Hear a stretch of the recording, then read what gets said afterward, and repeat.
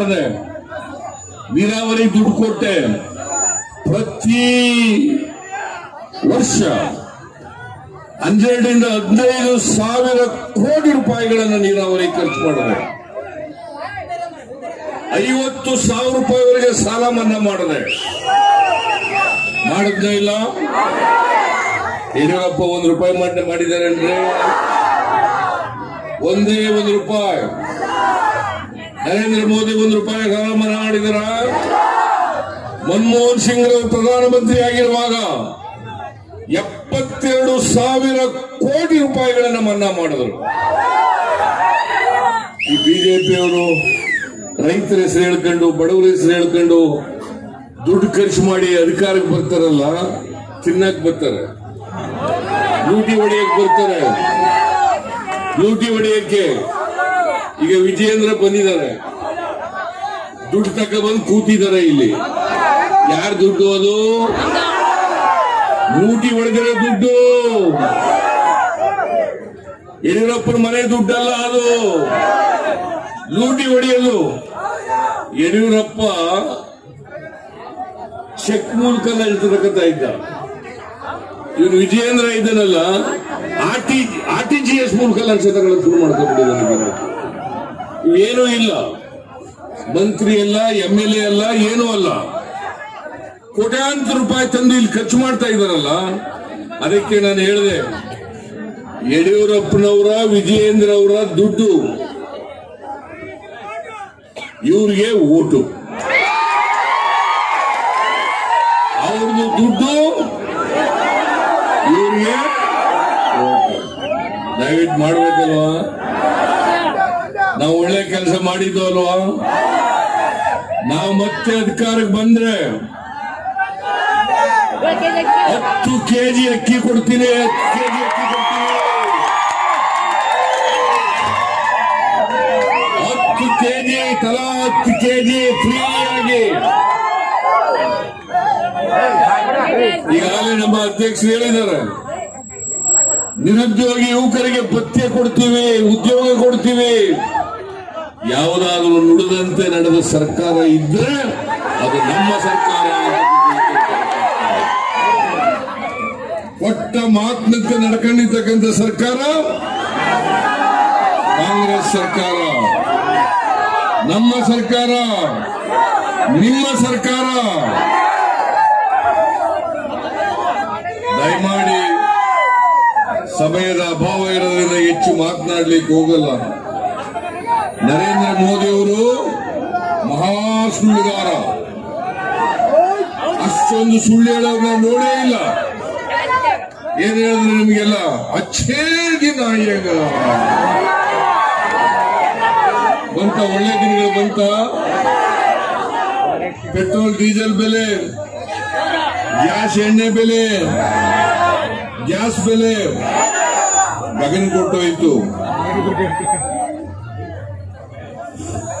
ಮನಮೋಹನ್ ಸಿಂಗ್ ಅವರು ಇರುವಾಗ ಒಂದು ಡೀಸೆಲ್, ಒಂದು ಲೀಟರ್ ಡೀಸೆಲ್ ಐವತ್ತು ರೂಪಾಯಿ ಸಿಗ್ತಾ ಇತ್ತು. ಇವತ್ತು ತೊಂಬತ್ತು ರೂಪಾಯಿ ಆಗಿದೆ. ತೊಂಬತ್ತು ರೂಪಾಯಿ ಆಗಿದೆ. ಪೆಟ್ರೋಲ್ ನೂರು ರೂಪಾಯಿ ಆಗಿದೆ. ಎಂಟುನೂರ ಐವತ್ತು ರೂಪಾಯಿ ಗ್ಯಾಸ್ ಆಗಿದೆ. ಗೊಬ್ಬರ ಬೆಲೆ ಏರಿಕೆ ಆಯ್ತು. ಹಣ್ಣಿನ ಬೆಲೆ ಏರಿಕೆ ಆಯ್ತು. ಸಿಮೆಂಟ್ ಬೆಲೆ ಏರಿಕೆ ಆಯ್ತು. ಕಬ್ಬಿಣದ ಬೆಲೆ ಏರಿಕೆ ಆಯ್ತು. ತರಕಾರಿ ಬೆಲೆ ಏರಿಕೆ ಆಯ್ತು. ಆದ್ರೆ ರೈತರಿಗೇನು ಸಿಗ್ಲಿಲ್ಲ? ರೈತರಿಗೆ ನ್ಯಾಯಯುತವಾದಂತ ಬೆಲೆ ಸಿಗಲಿಲ್ಲ.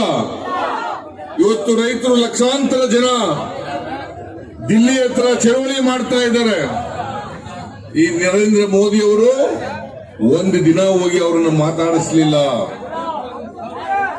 ಮೂರು ಕಾನೂನು ವಾಪಸ್ ತಗೊಳ್ಳಿ ರೈತರಿಗೆ ವಿರೋಧ ಅವು ಅಂತೇಳಿ ಚಳುವಳಿ ಮಾಡ್ತಾ ಇದ್ದಾರೆ. ಅವ್ರ ಬಗ್ಗೆ ಮಾತಾಡಕ್ ಹೋಗ್ಲಿಲ್ಲ. ನರೇಂದ್ರ ಮೋದಿ ಅವರೇ, ರೈತರ ಆದಾಯವನ್ನ ದುಪ್ಪಟ್ಟು ಮಾಡ್ತೀನಿ. ಆಯ್ತೇನ್ರಿ? ನಿಮ್ಮ ಆದಾಯ ಎರಡು ಪಟ್ಟು ಜಾಸ್ತಿ ಆಗೋಯ್ತಾ? ನರೇಂದ್ರ ಮೋದಿ ಬಂದು ಏಳು ವರ್ಷ ಆಯ್ತು. ಬಂತ? ದಯಮಾಡಿ ಅದರಿಂದ ನಾನು ಹೇಳ್ತೇನೆ. ಬಿಜೆಪಿ ಅವರು ಇದಾರಲ್ಲ, ದುಡ್ಡಿನ ಮೇಲೆ ರಾಜಕೀಯ ಮಾಡಬೇಕು ಅಂತ ಹೊರಟಿದ್ದಾರೆ. ದುಡ್ಡಿನ ಮೇಲೆ ಎಲೆಕ್ಷನ್ ಮಾಡಬೇಕು ಅಂತ ಹೊರಟಿದ್ದಾರೆ. ಪಾಪ ರೈತ ಕುಟುಂಬದಿಂದ ಬಂದವನು ನಿಮ್ಮ ಊರಿನವನು. ನಿಮ್ಮ ಊರಿನವನು. ನಾನು ಕೇಳಿದೆ, ಇಲ್ಲಿ ಹನ್ನೆರಡು, ಹದಿಮೂರು ಸಾವಿರ ಓಟ್ ಇದಾವೆ ಅಂತೇಳಿ. ಎಲ್ಲ ಓಟುಗಳನ್ನು ಕೂಡ ದಯಮಾಡಿ ತುರುವೆ ಆಳ್ನವರು ಪಕ್ಕದೂರಿನವರು ಅತ್ಯಂತ ಅಭಿಮಾನದಿಂದ ಕುರುವಾಡ ಗ್ರಾಮದ ಎಲ್ಲ ಮುಖಂಡರುಗಳು ಎರಡೇ ನಿಮಿಷದಲ್ಲಿ ದಯಮಾಡಿ ಯಾರು ಗಲಾಟೆ ಮಾಡಬೇಡ್ರಿ. ಡಿ ಕೆ ಶಿವಕುಮಾರಣ್ಣವರಿಗೂ ಕೂಡ ಶಾಲೆ ಕಂಬಳಿ ಒತ್ಸೋದ್ರ ಮೂಲಕ ಸನ್ಮಾನವನ್ನು ಮಾಡ್ತಾ ಇದ್ದಾರೆ.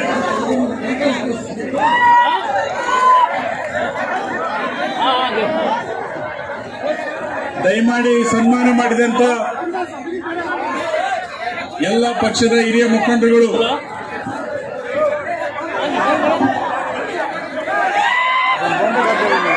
ಮತ್ತು ಅನೇಕರು ಕೂಡ ಬಿಜೆಪಿಯನ್ನು ತೊರೆದು ಕಾಂಗ್ರೆಸ್ ಪಕ್ಷವನ್ನ ಸೇರ್ತಾ ಇದ್ದಾರೆ.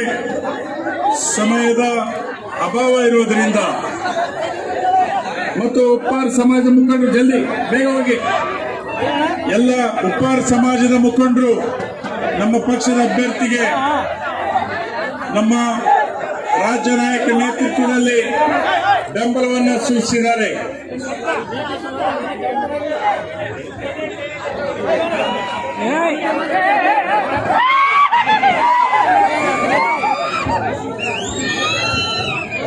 ದಯಮಾಡಿ ಎಲ್ಲರೂ ಸನ್ಮಾನ ಮಾಡಿದಂತ ಎಲ್ಲ ಮುಖಂಡರುಗಳು ಎಲ್ಲ ಮುಖಂಡರುಗಳು ಈ ಕಡೆ ಸನ್ಮಾನ ಮಾಡಿದಂತವರೆಲ್ಲ ಬರಬೇಕು.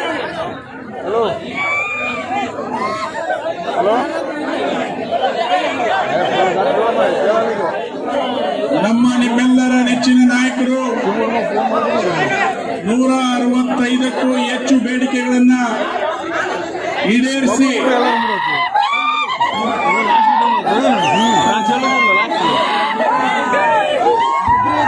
ಈಗ ತಮ್ಮನ್ನೆಲ್ಲ ಉದ್ದೇಶಿ ಸ್ವಲ್ಪ ಬದಲಾವಣೆ. ಅಂಬ್ರೇಗೌಡ ಭೈರಪ್ಪರ್ ಸಾಹೇಬ್ರವ್ರು ಕೂಡ ಒಂದು ಎರಡು ಮಾತನಾಡ್ತಾ ಇದ್ದಾರೆ.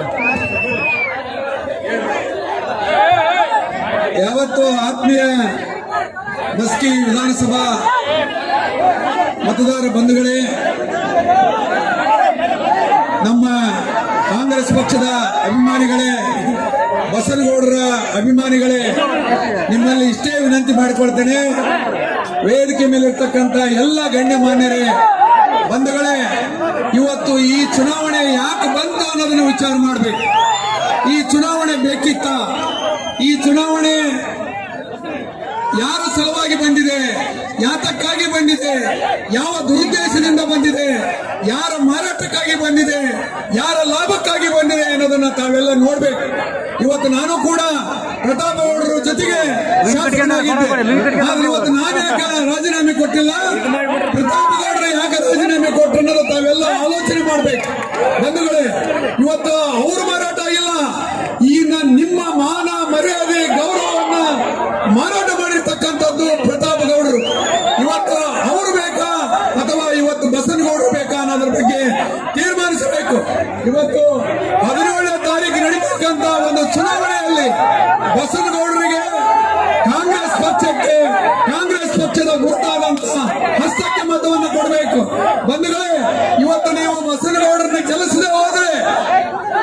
ಚುನಾವಣೆಯಲ್ಲಿ ನಮಗೂ ಕೂಡ ಕಷ್ಟ ಇದೆ ಅಪ್ಪನಗೌಡರು ಕೂಡ ಕಷ್ಟ ಇದೆ ನಮ್ಮ ನಾಯಕರು ನಮಗೆ ಟಿಕೆಟ್ ಸೈಟ್ ಕೊಡ್ತಾರಿಲ್ಲ ಭರವಸೆ ಇಲ್ಲ ನಮ್ಮ ಅಂಪನಗೌಡರಿಗೆ ನನಗೆ ಮುಂದಿನ ಸಾರಿ ಚುನಾವಣೆಯಲ್ಲಿ ಸಿಕ್ಕಿ ಟಿಕೆಟ್ ಸಿಗಬೇಕಂದ್ರೆ ಬಸನಗೌಡರನ್ನ ಗೆಲ್ಲಿಸಬೇಕು ನೀವು ಇಲ್ಲ ಇಲ್ಲ ಇಲ್ಲ ನೋಡಿ ನಮ್ಮ ವಿಶ್ವಾಸಕ್ಕೆ ಇಲ್ಲಿ ಬಸನಗೌಡರು ಚುನಾವಣೆ ನಿಂತಿಲ್ಲ ಅಂಪನಗೌಡರು ಅಮರಗೌಡರು ಬೋಸರಾಜ್ ಅವರು ಚುನಾವಣೆಯಲ್ಲಿ ನಿಂತಿದ್ದಾರೆ ಬಂಧುಗಳೇ ಆ ಹಿನ್ನೆಲೆಯಲ್ಲಿ ನಿಮ್ಮೆಲ್ಲರ ಮತ ಕಾಂಗ್ರೆಸ್ ಪಕ್ಷಕ್ಕೆ ಇರಬೇಕೆ ಹೊರತು ನಾವೆಲ್ಲ ಇವತ್ತು ಏನು ನಿರೀಕ್ಷಣೆಯನ್ನು ಮಾಡಿದ್ರೆ ಆ ನಿರೀಕ್ಷಣೆಯಂತೆ ಬಿಡಪ್ಪ, ದಾರಿ ಬಿಡ್ರಿ ಏಯ್. ಈ ನಿಮ್ಮ ನಿರೀಕ್ಷಣೆಯಂತೆ ನಮ್ಮ ನಾಯಕರು ಸದ್ಯ ಮಾತನಾಡ್ತಾರೆ. ಅವರ ಮಾತನ್ನು ಕೇಳಿ ಅವರಿಗೆ ಗೌರವವನ್ನು ಕೊಡ್ತಕ್ಕಂಥದ್ದಾಗಬೇಕು ಸದ್ಯ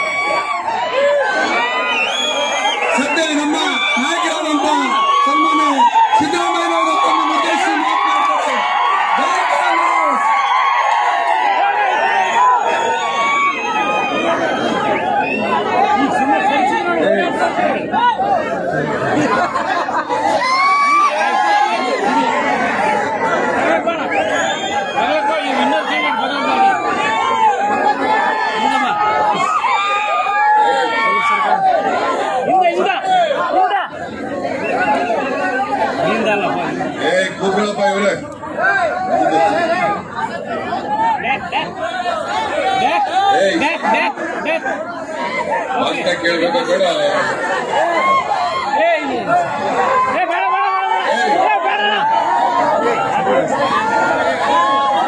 ದಯಮಾಡಿ ಹತ್ತು ನಿಮಿಷಗಳ ಕಾಲ ಶಾಂತವಾಗಿರಬೇಕು ಅಂತೇಳಿ ನಿಮ್ಮಲ್ಲಿ ಕಳಕಳಿಯ ಮನವಿ. ನೀವು ಚೀರಾಟ ಮಾಡಿದ್ರೆ ನನ್ನ ಭಾಷಣ ಬೇರೆಯವ್ರಿಗೆ ಯಾರಿಗೂ ಕೂಡ ಕೇಳಲ್ಲ.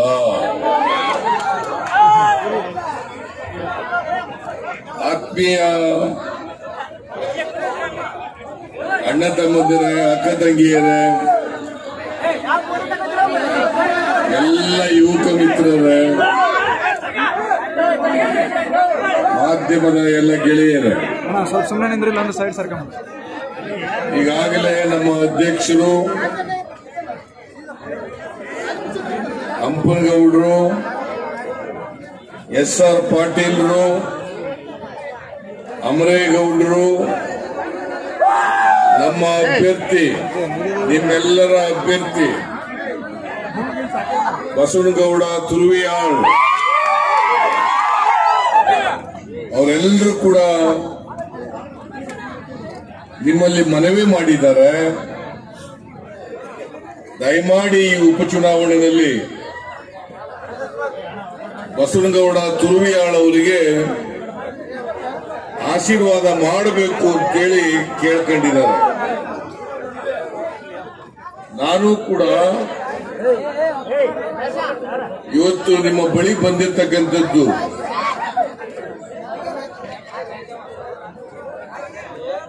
ತುರುವಿಯಾಳ ಅವ್ರ ಪರವಾಗಿ ಮತಯಾಚನೆ ಮಾಡಲಿಕ್ಕೋಸ್ಕರ ಬಂದಿದ್ದೇನೆ. ಈಗಾಗಲೇ ಈ ಉಪಚುನಾವಣೆ ಯಾಕೆ ಬಂತು ಅನ್ನೋದ್ರ ಬಗ್ಗೆ ಮಾತನಾಡದಂತ ಮುಖಂಡಗಳು ಪ್ರಸ್ತಾಪ ಮಾಡಿದ್ದಾರೆ. ಎರಡ್ ಸಾವಿರದ ಹದಿನೆಂಟು ಮೇ ಹನ್ನೆರಡನೇ ತಾರೀಕು ಚುನಾವಣೆ ನಡೆದಿತ್ತು. ಇನ್ನ ಮೂರು ವರ್ಷಗಳಾಗಬೇಕಾದ್ರೆ ಇನ್ನ ಒಂದು ತಿಂಗಳಿದೆ. ಇನ್ನು ಎರಡು ವರ್ಷ ಒಂದು ತಿಂಗಳು ಬಾಕಿ ಇದೆ. ಈಗ ಮತ್ತೆ ಉಪಚುನಾವಣೆ ಬಂದಿದೆ. ನಿಮಗೆ ಇನ್ನೊಂದು ಅವಕಾಶ ಬಂದಿದೆ ಈಗ. ಸರಿ ಬರ ಈ ಉಪಚುನಾವಣೆ ಅಗತ್ಯ ಇರಲಿಲ್ಲ. ಐದು ವರ್ಷಗಳ ಕಾಲ ನಿಮ್ಮ ಪ್ರತಿನಿಧಿಯಾಗಿ ವಿಧಾನಸೌಧದಲ್ಲಿ ಕೆಲಸ ಮಾಡಬೇಕು ಅಂತೇಳಿ ಕಳೆದ ಬಾರಿ ಪ್ರತಾಪ್ ಗೌಡ ಪಾಟೀಲ್ ರವರನ್ನ ಮಸ್ಕಿ ಕ್ಷೇತ್ರದ ಜನ ಗೆಲ್ಲಿಸಿದ್ರು ಅವರು ಕಾಂಗ್ರೆಸ್ನಲ್ಲಿ ಎಂಎಲ್ಎ ಆಗಿ ಕೆಲಸ ಮಾಡೋದ್ರ ಬದಲು ತನ್ನನ್ನು ತಾನೇ ಮಾರಾಟ ಮಾಡಿಕೊಂಡು ಬಿಜೆಪಿಗೆ ಹೋಗಿದ್ದಾರೆ. ಎರಡು ಬಾರಿ ಕಾಂಗ್ರೆಸ್ ಪಕ್ಷದಿಂದ ಗೆದ್ದಿದ್ರು. ಅವರು ಎರಡ್ ಸಾವಿರದ ಹದಿಮೂರು, ಎರಡು ಸಾವಿರದ ಹದಿನೆಂಟು. ಎರಡು ಸಾರಿ ಕಾಂಗ್ರೆಸ್ನಿಂದ ಬಂದು ನಿಮ್ಮೆಲ್ಲರ ಆಶೀರ್ವಾದ ಪಡೆದು ಹಸ್ತದ ಚಿಹ್ನೆಗೆ ಓಟ್ ಕೇಳಿ ಇವತ್ತು ಮಾರಾಟ ಆಗಿದಾರಲ್ಲ, ನಿಮಗೆ ಒಪ್ಪಿಗೆನಾ ಅದು ನಿಮಗೆ ಒಪ್ಪಿಗೆನಾ? ನಿಮ್ಮನ್ನ ಏನಾದ್ರು ಕೇಳಿದ್ರ? ನಾನು ಬಿಜೆಪಿಗೆ ಹೋಗ್ತೀನಿ ಅಂತ ಕೇಳಿದ್ರ? ಯಾಕೆ ಹೋದ್ರು ಅದ್ರ ಬಿಜೆಪಿಗೆ? ಕೇವಲ ದುಡ್ಡುಗೋಸ್ಕರ. ಕೇವಲ ದುಡ್ಡುಗೋಸ್ಕರ. ನಿಮ್ಮ ಓಟ್ ತಗೊಂಡು ಈ ಮೂವತ್ತು ಕೋಟಿಗೆ ಮಾರಾಟ ಆದ್ರಲ್ಲ? ಅವ್ರಿಗೇನಾದ್ರೂ ಮಾನ ಮರ್ಯಾದೆ ಏನಾದ್ರು ಇದೆಯೇನ್ರಿ? ಮಾನ ಮರ್ಯಾದೆ ಏನಾದ್ರು ಇದೆಯಾ?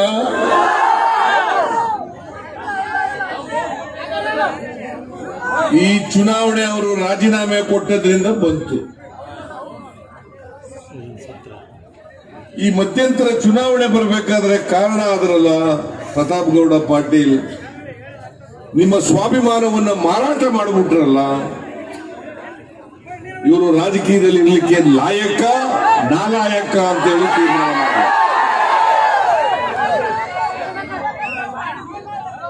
ಯಾರೇ ಆಗಲಿ, ಒಂದು ಪಕ್ಷದಿಂದ ಗೆದ್ದ ಮೇಲೆ, ಆ ಪಕ್ಷದ ಶಾಸಕರಾಗಿ ಪಕ್ಷಕ್ಕೆ ನಿಷ್ಠರಾಗಿ ಇರಬೇಕಾದದ್ದು ಅವರ ಕರ್ತವ್ಯ. ನಾನು ಒಪ್ಕೊಳ್ತೇನೆ. ಇಡೀ ಕ್ಷೇತ್ರದ ಜನ ಕಾಂಗ್ರೆಸ್ ಬಿಟ್ಬಿಡಿ, ಬಿಜೆಪಿಗೆ ಹೋಗಿ ಅಂತ ಹೇಳಿ ಕಳಿಸಿದ್ರೆ ಏನೋ ಜನ ಹೇಳಿದ್ರಪ್ಪ, ಹೋಗಿದ್ದಾರೆ ಅಂತ ಅನ್ಕೋಬಹುದು. ನಿಮ್ಮನ್ನ ಯಾರು ಕೇಳದೇನೆ. ಸಂತೆಯಲ್ಲಿ ಮಾರಾಟ ಆಗವು ಪ್ರಾಣಿಗಳು. ಎಮ್ಮೆ, ದನ, ಕೋಳಿ, ಕುರಿ, ಮೇಕೆ, ಇಂಥ ಪದ, ಇಂಥ ಪದಾರ್ಥಗಳು ಮಾರಾಟ ಆಯ್ತವೆ. ಈ ಮನುಷ್ಯ ವ್ಯಾಪಾರ ವ್ಯಾಪಾರ ಆಗ್ಬಿಡ್ತಾರಲ್ರಿ ಯಜಮಾನಗಳೇ ನೀವು ಗೊತ್ತಾ ನಿಮ್ಗೆ? ಮನುಷ್ಯರೇ, ಒಬ್ಬ ಎಂ ಎಲ್ ಎ ಮೂವತ್ತು ಕೋಟಿ ತಗೊಂಡು ಮಾರಾಟ ಆಗ್ತಕ್ಕಂಥದ್ದು ಇದೆಯಲ್ಲ? ಇದಕ್ಕಿಂತ ನಾಚಿಗೇಡಿನ ಕೆಲಸ ಇನ್ನೊಂದಿಲ್ಲ ಅಂತಕ್ಕಂಥದನ್ನ ತಿಳ್ಕೊಂಡು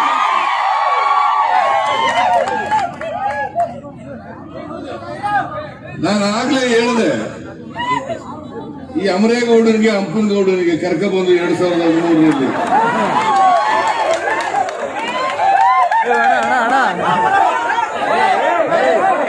ಇವರಿಬ್ಬರಿಗೂ ಹೇಳಿದೆ ನಾನು ಅಲ್ಲೇ ಬಂದು ಬಂದು ಏನಪ್ಪ ಇವ್ರ ತರ ಮುಖ ನೋಡಿದ್ರೆ ಕಳ್ಳನ್ ತರ ಕಾಣ್ತಾನೆ ಇವನೇನ್ ಬೇಡ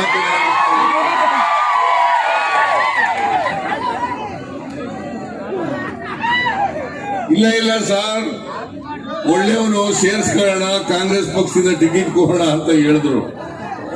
ಟಿಕೆಟ್ ಕೊಟ್ರೆ ಮರ್ಯಾದೆಯಿಂದ ಇರಬೇಕು ಬೇಡ.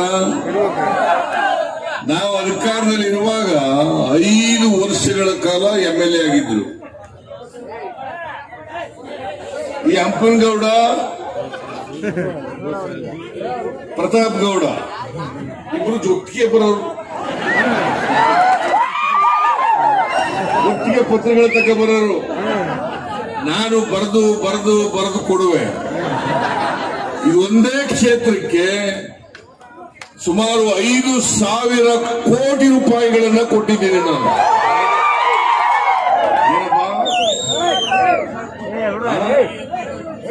ನಂದವಾಡಿಗೆ ಏತ ನೀರಾವರಿ ಒಂದಕ್ಕೇನೆ ಮೂರು ಸಾವಿರ ಕೋಟಿ ರೂಪಾಯಿಗಳನ್ನು ಕೊಟ್ಟಿದ್ದೀನಿ. ರಸ್ತೆ ಕೆಲಸಕ್ಕೆ, ನೀರಾವರಿ ಕೆಲಸಕ್ಕೆ, ಶಾಲಾ ಕಟ್ಟಡಕ್ಕೆ, ಕೆರೆ ತುಂಬಿಸ್ಲಿಕ್ಕೆ, ಈ ಡಿಗ್ರಿ ಕಾಲೇಜ್ ಆಗ್ತದಲ್ಲ, ಯಾರು ಕೊಟ್ಟರು ಕೇಳಿ ಅವರಿಗೆ ಗೌಡರಿಗೆ ಈ ಜಾಗ ಯಾರು ಕೊಡಿಸಿದ್ರು ಕೇಳಿ ಅವರಿಗೆ ಒಂದ್ ಎಕರೆ. ಇದೇ ಫೋನ್ ಮಾಡಿಸಿ ನೀರಾವರಿ ಇಲಾಖೆಯವರಿಗೆ ಒಂದು ಎಕರೆ ಜಮೀನನ್ನ ಕೊಡಿಸಿ ಫಸ್ಟ್ ಗ್ರೇಡ್ ಕಾಲೇಜನ್ನ ಮಂಜೂರು ಮಾಡಿಸ್ಕೊಟ್ಟವರು. ಅವತ್ತು ಹಂಪನಗೌಡ ಪ್ರತಾಪ್ ಗೌಡ ಬಂದ ಮೇಲೆ ನಾನು ಮಾಡಿಕೊಟ್ಟೆ ಅವ್ರಿಗೋಸ್ಕರ ಅಲ್ಲ, ಈ ಕ್ಷೇತ್ರದ ಅಭಿವೃದ್ಧಿ ಆಗಲಿ ಅಂತೇಳಿ ಮಾಡಿಸ್ಕೊಟ್ಟೆ. ನಮ್ಮ ಸರ್ಕಾರ ಹೋಯ್ತು. ಹೋಗ್ತಿದ್ದಾಗ್ಲೇ ನೀನು ಪ್ರತಾಪ್ ಗೌಡ ಪಾಟೀಲ. ಹೇಳದೆ ಕೇಳದೆ ಹೊಟ್ಟೋಗ್ಬಿಟ್ಟಿಲ್ಲಪ್ಪ ಹೇಳದೆ ಕೇಳದೆ ಹೊರಟೋದಿಲ್ಲ. ಜನರು ಕೇಳಲಿಲ್ಲ. ನನ್ನನ್ನು ಕೇಳಲಿಲ್ಲ. ನಮ್ಮ ಪಕ್ಷದವ್ರು ಕೇಳಲಿಲ್ಲ. ಹಂಪನಗೌಡನ ಕೇಳಲಿಲ್ಲ. ಅಮರೇಗೌಡನ ಕೇಳಲಿಲ್ಲ. ನಿಮ್ಮನ್ ಕೇಳಲಿಲ್ಲ. ಪ್ರಜಾಪ್ರಭುತ್ವ ವ್ಯವಸ್ಥೆನಲ್ಲಿ ಯಾರು ಓಟ್ ಹಾಕ್ತಾರೆ, ಅವರೇ ಯಜಮಾನರುಗಳು. ಆ ಯಜಮಾನರುಗಳು ಒಪ್ಪಿಗೆ ತಗೋಬೇಕಾಗಿತ್ತು ಬೇಡ? ತಗೊಳ್ಳಿಲ್ಲ. ಮತ್ತೆ ಈ ತರ ನಿಮ್ಮೆಲ್ಲರನ್ನ ಮಾರಾಟ ಮಾಡಿಬಿಟ್ಟು ನಿಮ್ಮ ಗೌರವಕ್ಕೆ ಚ್ಯುತಿ ತಗೊಬಂದು ಹೋಗಿದಾರಲ್ಲ, ನೀವು ಸಹಿಸ್ಕೊತೀರ? ಸಹಿಸ್ಕೊಳ್ಬಾರದು. ಈಗ ಬಿಜೆಪಿ ಸರ್ಕಾರ ಇದೆ, ಯಡಿಯೂರಪ್ಪನ ಸರ್ಕಾರ ಎರಡು ವರ್ಷದಿಂದ ಇದೆ.